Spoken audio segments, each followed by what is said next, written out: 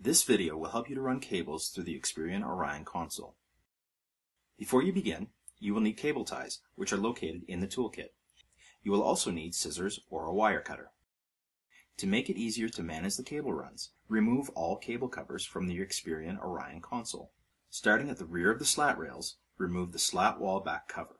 There is one thumb screw at each end of the slat wall back cover. Pull down on the thumb screws and then remove the cover. Remove the slat rail post cover. Repeat on the other side of the console.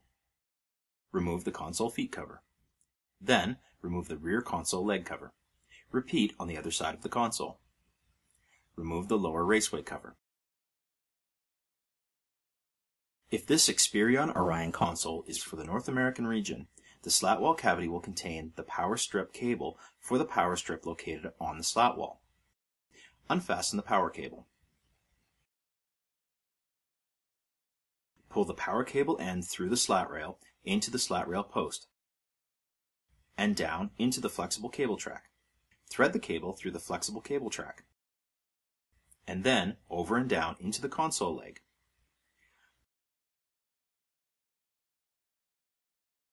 Pull the cable across the lower raceway to the power strip.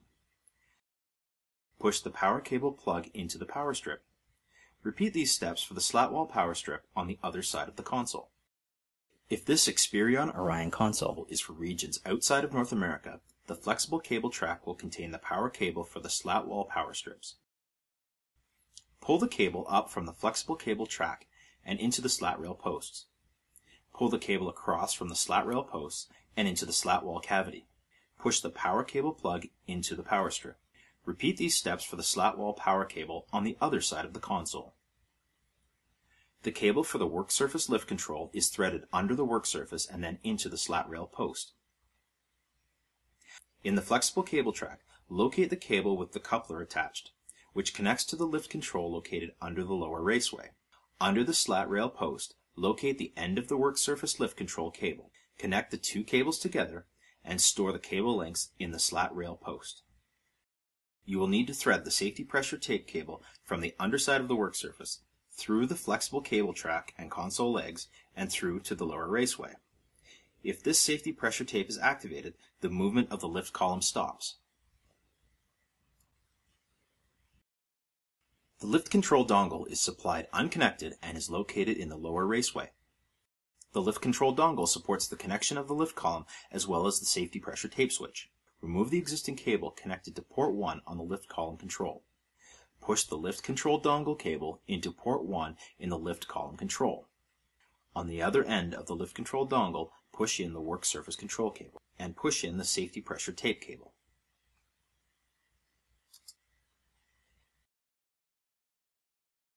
In each flexible cable track is an alarm light cable that needs to be connected to the corresponding cable located in the slat wall cavity. Pull the alarm light cable up from the flexible cable track and into the slat rail posts and then pull it across the back of the slat wall cavity. Connect the two parts of the alarm light cable together. The alarm light cable can be secured within the slat wall cavity using cable ties.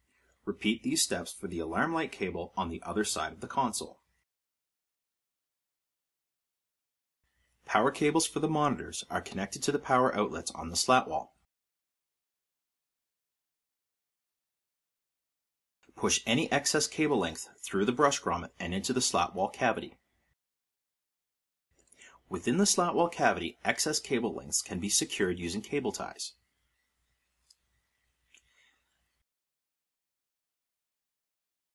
HDMI monitor cables are threaded through the brush grommets into the slat wall cavity.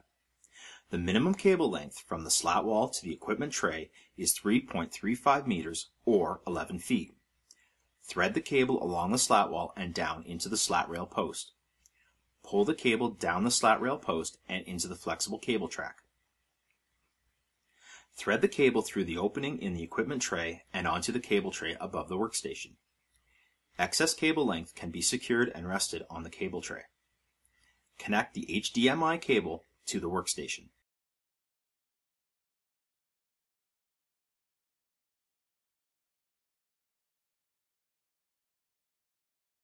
USB and other device cables are threaded through the opening under the work surface power socket lid. Open the work surface power socket lid and thread the cable through the opening. You can move the cable along the work surface slot to the required location. Under the work surface, thread the cable through the under work surface cable management and into the flexible cable track.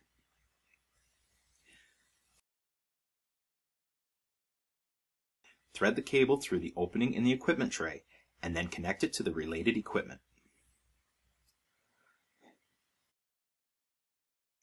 Work surface devices that require power can be connected to the work surface power sockets located under the work surface power socket lid. Excess cable lengths can be threaded through the opening and secured away in the under work surface cable management. The power cable for the work surface power sockets is secured to the work surface. Unfasten the cable. Pull the cable down into the flexible cable track. Thread the cable through the opening in the equipment tray, and then push the power cable plug into the power strip. You can find other videos at www.honeywellprocess.com forward slash support.